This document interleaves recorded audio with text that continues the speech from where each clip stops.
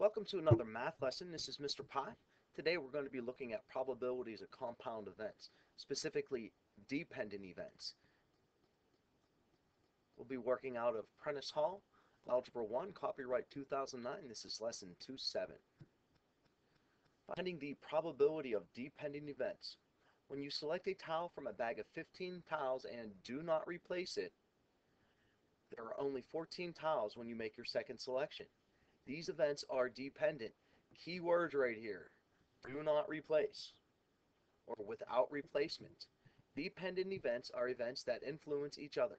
The occurrence of one event affects the probability of the second event.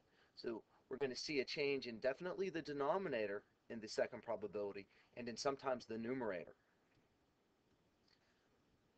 When we find the probability of two dependent events, we have a little rule. It's basically the same rule as we saw with independent events.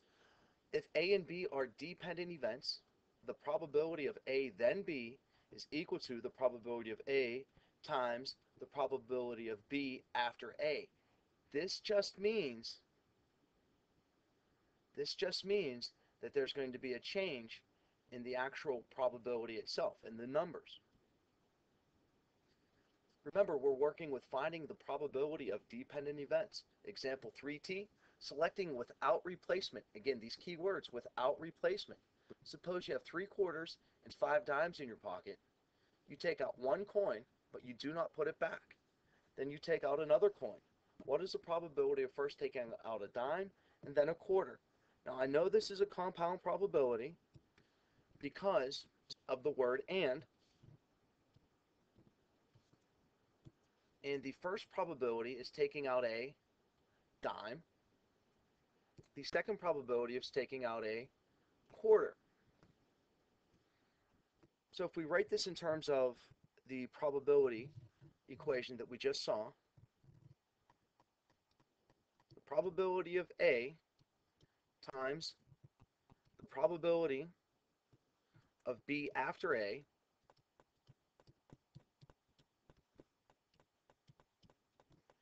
is going to give us the probability of this um, outcome. So the probability of A is uh, we have to first figure out the total number of coins. The total number of coins is 8. We get that by 3 plus 5. So in the denominator, in our first probability is 8. And since we're going with the probability of A, the first event, which is a dime, and there are five dimes, that'd be five out of eight, times B after A. Now what that means is since we're not putting that coin back in, we only have seven coins left, and the second probability is the probability of a quarter. And there are three quarters. Now we multiply this out to figure out the probability.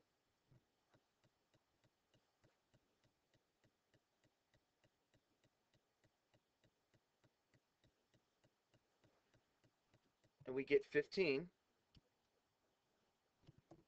over 56. 5 times 3 is 15.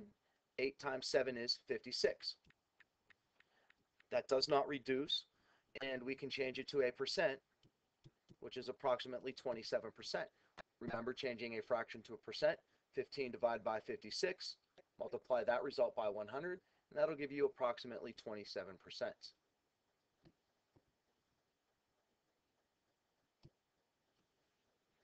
Example 3s, again selecting without replacement. Suppose you have 10 $1 bills and five $10 bills in your pocket. You take out one bill and do not put it back. Then you take out another bill. What is the probability that you take out a dollar and then a 10? Compound probability because of the word and. The first probability is taking a dollar out. The second probability is taking a 10 out.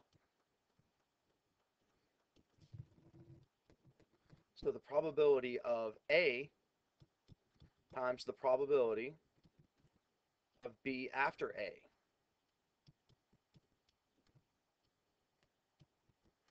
A being taking a dollar and B being taking a 10. That is equal to the probability of A our denominator, because there are 10 $1 bills and 5 $10 bills, is 15. That's the total number of coins.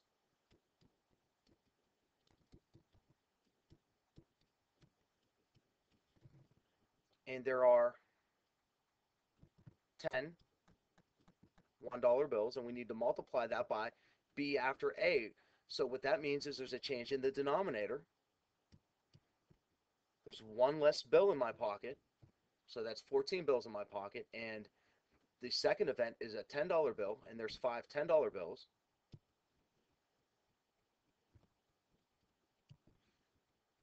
And we can multiply that now. 10 times 5 is 50. 15 times 14 is 210. And that can reduce by a factor of 10. We just knock off the zeros, and that'll give us 5 over 21, which is approximately 24%.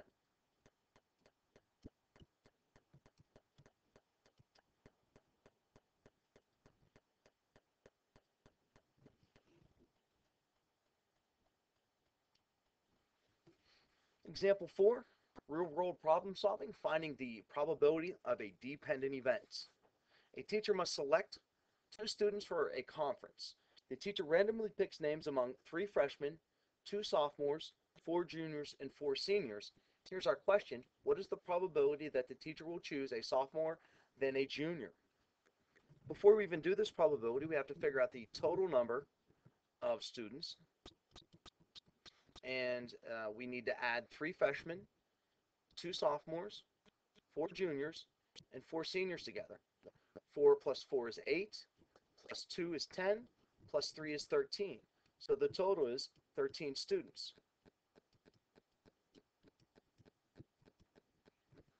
So figuring out the probability that the teacher is going to choose a sophomore, then a junior, is given by what we just saw, the probability of A times the probability of B after A.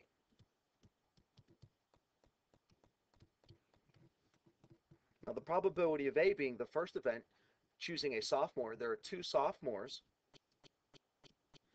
and there are 13 students, so that'd be 2 over 13, times the probability of B, which is choosing a junior. Now there are only 12 students to choose from, so notice we decrease the denominator, and since there are 4 juniors, the numerator is going to be 4.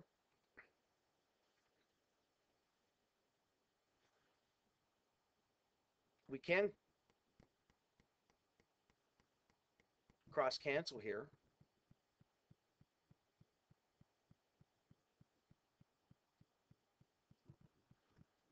Two goes into two once, two goes into 12 six times, and then we can multiply. Actually, we can reduce again. Two goes into four twice, and two goes into six three times.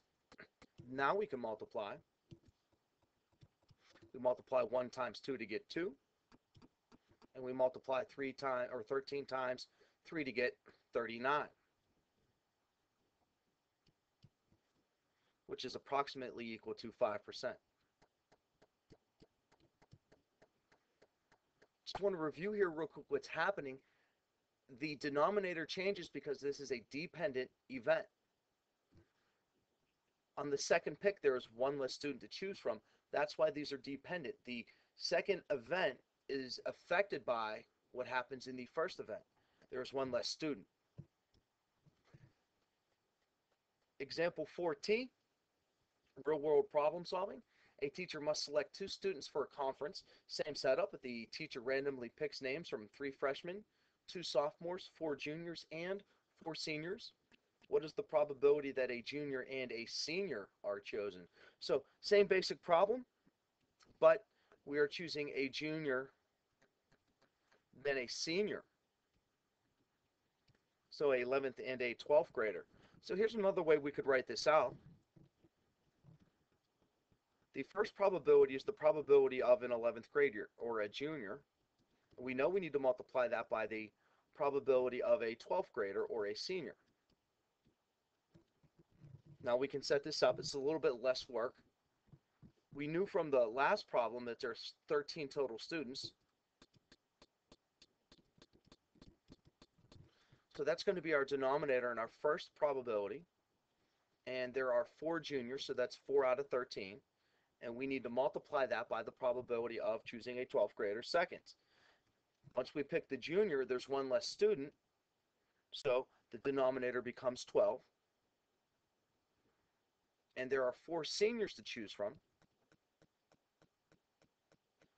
So that probability is 4 over 12. Now to solve this problem, we can reduce before we multiply. We can cross cancel. 4 goes into 4 once, and 4 goes into 12 three times. And then we can multiply. 1 times 4 to give us 4, and 3 times, or 13 times 3 to give us 39. We could change that into a fraction. So the probability is 4 over 39, or 4 out of 39, which gives us approximately 10%.